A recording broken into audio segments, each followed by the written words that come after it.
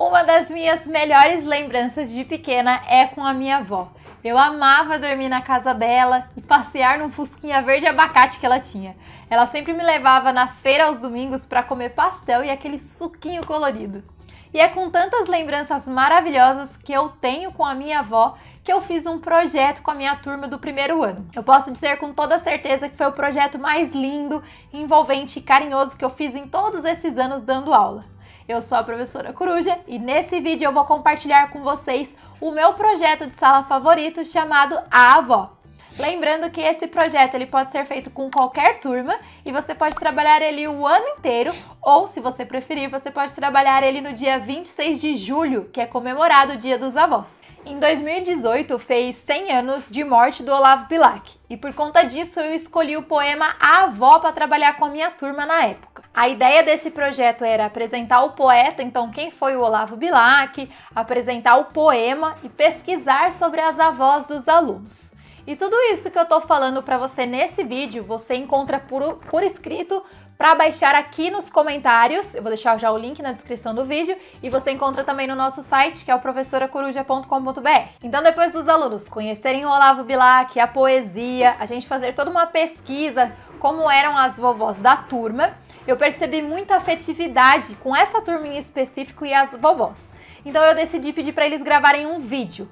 O aluno ele deveria gravar um vídeo com a avó contando algo da infância ou a sua história favorita. O vídeo era curtinho, podia ser enviado pelo WhatsApp até dois minutos, e eu juntei todos esses vídeos e coloquei um filtro na edição para deixar com uma cara mais antiga. Eu sou a Beth, a vovó do João Felipe do primeiro ano. Quando eu era pequena, morava num sítio e lá a gente não tinha muito brinquedos. Os nossos brinquedos eram latinhas de leite, latinhas de óleo e eu adorava fazer comidinha com as minhas primas. E a nossa comidinha era de barro. Inventava. E tinha a vez que a gente pegava arroz, feijão, óleo, as coisas escondidas da minha mãe para fazer comidinha de verdade. E o que eu mais adoro fazer é bolo. Tanto que até hoje eu adoro cozinhar e fazer bolo. Principalmente bolo de chocolate para o meu netinho, que ele ama muito. É muito gostoso! Tchau! Então eu peguei um monitor na escola, coloquei uma borda de TV antiga e deixei passando aquele vídeo para toda a escola assistir. Os alunos eles ficavam o intervalo inteiro assistindo e reassistindo porque eles queriam ouvir a, a história de todas as vovós.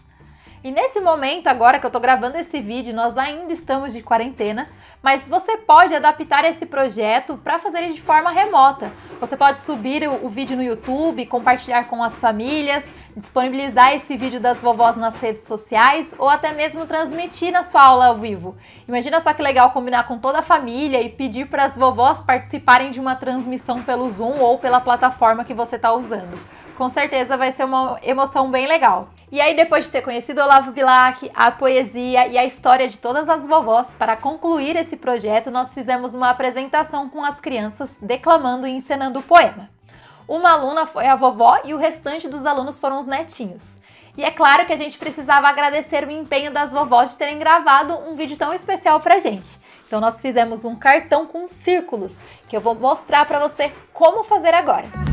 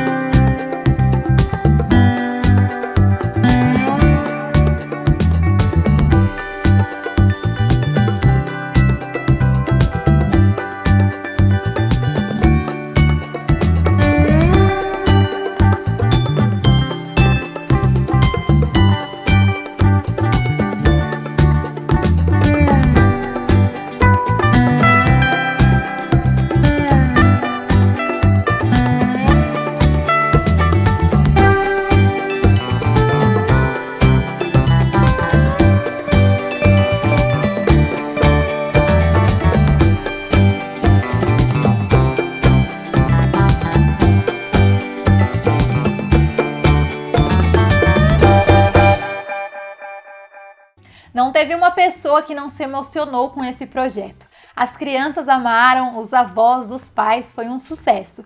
E se você também gostou desse projeto, como eu falei, eu disponibilizei ele no site professoracoruja.com.br e o link também tá aqui na descrição desse vídeo. E eu separei aqui duas dicas bônus para esse projeto. Eu separei uma música e um livro lindo para você complementar esse projeto. O livro se chama A Avó Adormecida, que conta a história de um menino e a sua avó, que eles o que eles fazem junto até o dia que ela vai embora. E a música se chama Minha Avó, do grupo Barbatuques. É bem legal, na época eu não conhecia, mas já que eu conheço agora, estou indicando aí para você complementar o seu projeto. E eu vou deixar o link do grupo Barbatuques também aqui na descrição do vídeo para você conhecer mais músicas. E por que o cenário do vídeo está diferente hoje? Na verdade, essa é a minha homenagem à minha vovó Araci, que mesmo estando conosco ainda, ela não consegue mais se lembrar quem eu sou. Ela fez essa colcha especialmente para mim e me deu no dia do meu casamento. Se você ainda tem oportunidade, aproveita para ligar para sua avó e dizer o quanto você a ama. E se você fizer esse projeto, aproveita para compartilhar comigo nas redes sociais. Me marca, me manda por e-mail que eu vou adorar te ver de alguma forma. Um beijo super especial para minha vovó Araci, que vai estar sempre no meu coração, para minha mãe Leila e para minha sogra Vera, que agora também são vovós.